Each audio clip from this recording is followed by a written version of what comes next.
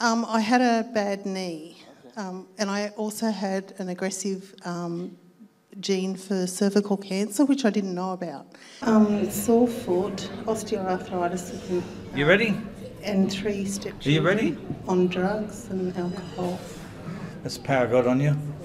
That's the power of God on your foot. That's the power.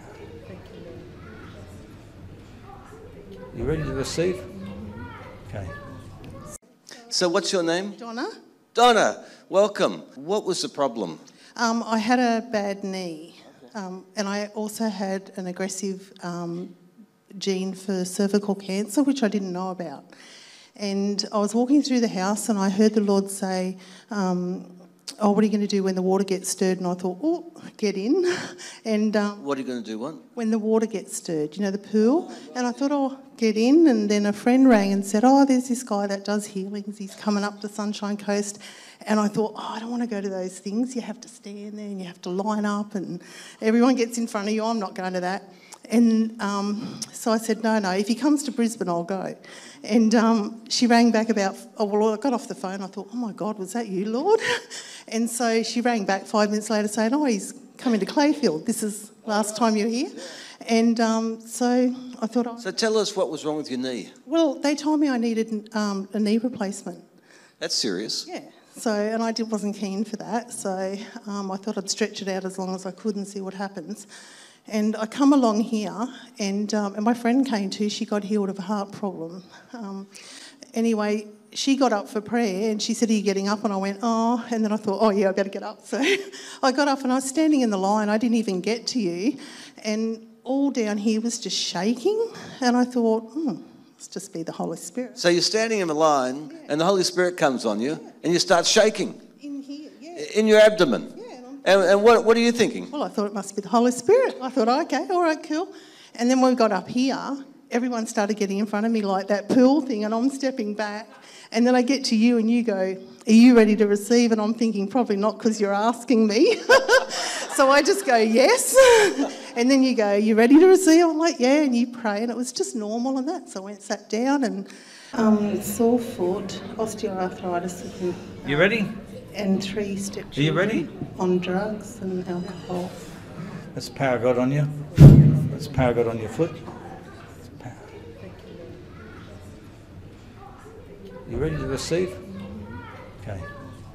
But I the biggest thing I learnt from you and your amazing podcasts is to believe. It's not about claiming and naming and all that. It was about just believing in what Jesus has done and walking in that. And so the next day, I just kept thanking God every time I had a tinge. Thank you, Jesus, healing my knee. I really don't have problems with my knee. I don't need an operation anymore. And Someone say, Praise the Lord. Let them praise the Lord. So, that was two and a half years ago or something. And then I went to the doctors and I'd had a pap smear. And that's when she told me I had that. And I'm like, oh, the Lord wouldn't have just healed my knee. And so I was just trusting. And he ended up saying, you know, go and you'll have a better testimony than what you got now. And I went. Doctor couldn't even get the same result, had the biopsy, nothing there. And I just, and that's when I remember. So, help us understand you had a previous pat smear. Yeah, I was pending, results were pending while I was here. I didn't think anything of it. And then when I went back, they said, Oh, you, you need to go and see the surgeon. You've got this aggressive gene, you've tested positive for cervical uh, cancer, aggressive type. And I went, Oh, okay. And then I struggled because I thought, well, no, the Lord wouldn't have just healed my knee. Like, He would have done it all. And I didn't even think about the shaking. He would have done it all. Someone say, He would have done it all. He did. and um, so then I went off, saw the surgeon. She couldn't get the same result, and I really was like, oh, you know. And the Lord said, "It's okay," because I didn't want to dishonour him. I wanted to trust him, and He said, "Go and you'll have a better testimony than what you've got now." And I went, "Okay." So I went and did it, and and it wasn't easy, but did it. And it was when I was back in the chair, and the doctor was telling me, and I thought, "Oh my God!" I was shaking. He already did it. it was so cool. So, what did the doctor say about the second test? Oh, nothing there. What did he say? Just just said no there's nothing there. You're all clear.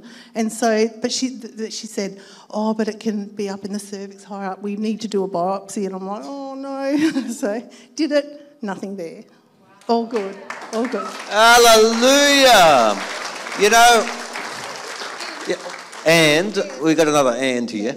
And about, I think, six months after learning to walk like that, my husband was diagnosed with cancer, and God has been healing him.